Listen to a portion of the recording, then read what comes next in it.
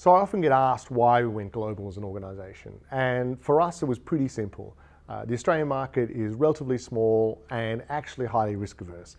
So there's a lot of good reasons to sell overseas when you're an Australian software company.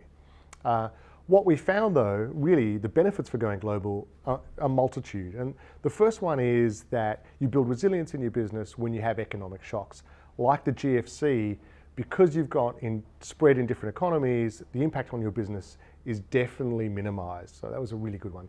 Uh, the second one is you learn a lot from the diversity of your customers. So each region has you know, specific industry focuses, whether it be agricultural, whether it be manufacturing. And the result of that is that you can learn a lot more about how people use your software because you get, you get to be involved in those industries. Uh, the third one is you get a different cultural input from your sales organization. So the way in which people approach selling is different and you can learn from that and you can take the best of what each region does to build consistent global sales practices that help you win in other markets as well.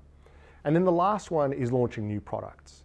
It's really good to launch new products if you've got multiple markets to act in. So in our example, when we did Signals, which is an automated analytical product, um, to be able to launch that in Japan where they love automation and to learn from it there and then to take those use cases and to spread that globally is definitely a far more efficient way to, to go to market than if we just try to do that in Australia.